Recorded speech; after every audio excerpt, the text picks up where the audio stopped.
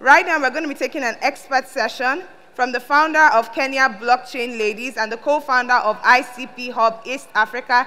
She's going to be taking us on understanding ICP. So ladies, please let's give a round of applause for Yvonne Kagondu. A round of applause for her.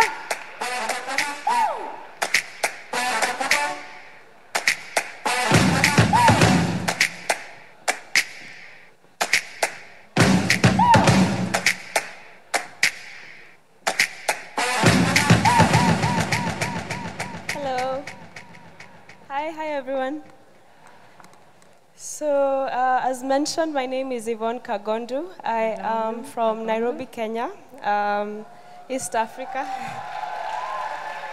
I don't know if there are any other East Africans here. None? Ooh, there's one here. Okay, um, so I'm the founder of Kenya Blockchain Ladies DAO, and what we do is that at our DAO, we focus on increasing Kenyan women participation. Um, I'm sorry, I've been told I have an accent, so I'll try, I'll try and slow down. So, Kenyan women participation in blockchain and Web3. So, why we do this specifically? Uh, I saw a previous speaker talking about AI, and we do this because when there's an emerging technology, it comes with a lot of opportunities. I'm sure you're aware of that by now.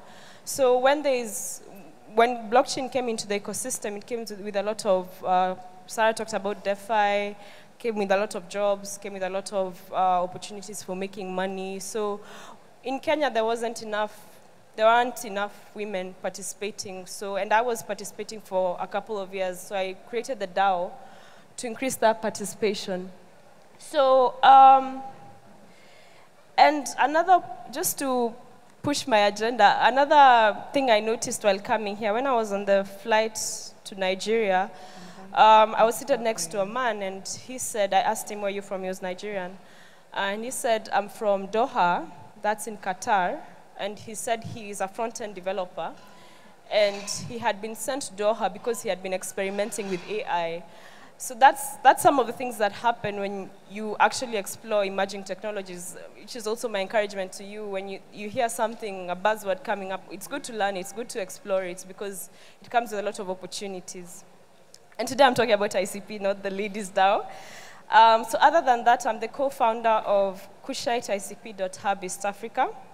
And we focus on evangelizing, educating, incubating, and launching blockchain projects, projects products on, in East Africa. We also have an West African hub. Unfortunately, it's run by a man, so he couldn't speak here, and I had to come here. so, we, but we, he's over there. His name is Chris. Um, we have a booth, and we also have a Twitter campaign. If you come to our booth and take a selfie and then post it on your on your social media and tag ICP, tag uh, Sahara ICP Hub and Kushite ICP Hub, we'll be giving away some few gifts. And also in the spirit of gift giving, I saw those, that's how it started before I got here. But I want to do a small service that I don't get too deep in the buzzwords, uh, just to understand also my audience. Um, I want to know how many of you are blockchain developers, just by show of hand. Do you have any blockchain developers here? I see one. Um, no other? Oh, I see another. okay, we're not that many. Um, but how many of you use like cryptocurrencies on a regular basis? Yeah? Not that many as well? Sarah, you're not doing your job. um, but how many of you know cryptocurrencies like Bitcoin? You've heard about it, Ethereum, yeah? At least USDT, Binance, and the likes. Thank I'm not you. seeing those hands, you guys. yeah, so quite a number of you know that. So at least I can say you have like basic knowledge of Web3. Um, there's someone who said they know they are blockchain developer. Um, I just want them to explain uh, what it is in the spirit of gift giving. I saw someone raise their hand there and there. Please, if, uh, yeah, please come. To, uh, there's a mic over there just to explain like a five-year-old. That's what it was. Or you can come here, I give you mine.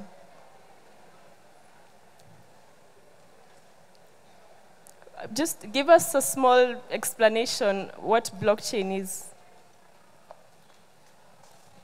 Blockchain is explaining to a five years old. Imagine uh, Naira. We have 1,000, we have 500. Now having, having digital money, digital money is the best way to explain blockchain. Um, we also have tokens. So we can compare tokens to like your coins. We don't have one naira anymore. We can compare it to that. So, we can, my best explanation to a five years old is to, for, for explaining digital currency is, I mean, for explaining blockchain is digital currency. Then explaining blockchain development is the ability to develop a platform where people can actually um, make payments, buy stuffs like sweets and biscuits using digital money, also called virtual money. Money you can't see, but it's real and it's on your phone, or digital gold like um, Bitcoin. That's it. Thank you so much. Being bold, right? um, okay, because of time, I won't ask so many questions, but um, blockchain technology is basically the technology underlying cryptocurrencies, underlying Bitcoin. And um, I know this is a, an impressively huge community, and you guys are going to be change makers um, of today and tomorrow. So when you're looking at blockchains that you're going to be building on, because when we are talking about the future of technology, we're talking about AI, we're talking about blockchain, and, and cybersecurity and Internet of Things and all that, you're going to be the ones making the decision. So you're going to be presented with a lot of options, and it's good to always be informed on what are the best options that you have.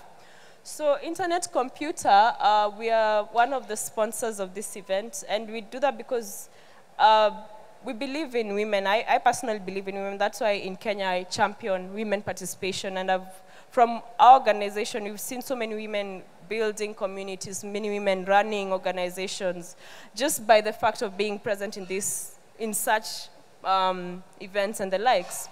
So I believe from this room, there are going to be some of you who are going to be building on blockchain, some of you are going to be championing blockchain, some of you are, who are going to get opportunities on blockchain. So I'm going to tell you a bit about the internet computer. So, um, sorry, this is a, long, wrong slide. Could you go a bit up?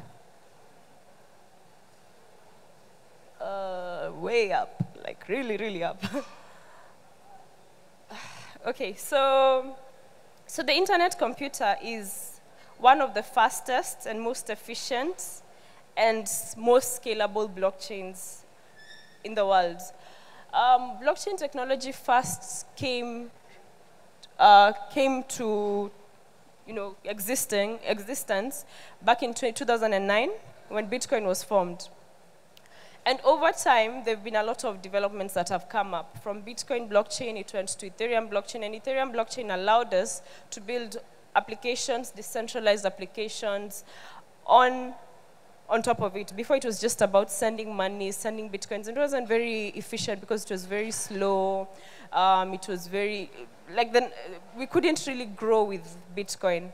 So someone else came up and said, I want to create a I want to do more than just sending money. And that was Ethereum. Uh, his name was, the founder is called Vitalik. And so that came up. It's called smart contract technology. So the internet computer is one of the after products that came from that. And what it brought to the table was that it asked the question, we normally ask the question, why, what should we do with blockchain other than just money? I'm sure you've had cryptocurrencies from maybe even scams, maybe Bitcoin, maybe telling you you'll triple your money or something. But there are people like builders, builders ask the question, what else can we do other than just sending and receiving money? So IC is one of the protocols that came about it. And what the question that we asked was, is the internet really safe? Like, is the internet um, centralized. For example, how many of you have ever had the experience of you speak something, you're speaking to something to your friend, like you're saying, I feel like I want to buy a phone, or I'm looking for a dress. And then the next thing you see on your phone is an ad. How many have experienced that? Show of hands. Oh, quite a number. I've experienced it. Sometimes, one time, one weird time, I thought of something, then I saw an ad. Weird. So we asked the question, is the internet safe? And the internet computer realized that the internet is not safe because it comes from centralized authorities. It comes from companies like Google, companies like Amazon, companies like Microsoft. All of them come from a centralized body. Bitcoin asked the question, when all our money is coming from central banks, centralized system, is it really working? Because if people, the people who benefit the most from the money coming from centralized system are the ones who are making the most money. What about the ordinary people, the common folk? So we ask the question, is the internet safe for us?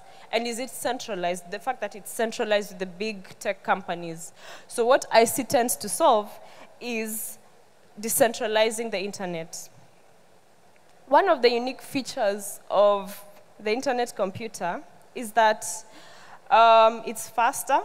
It's faster than, it's relatively faster than all other blockchains. Yes, thank you. um, and it's extremely safe and reliable.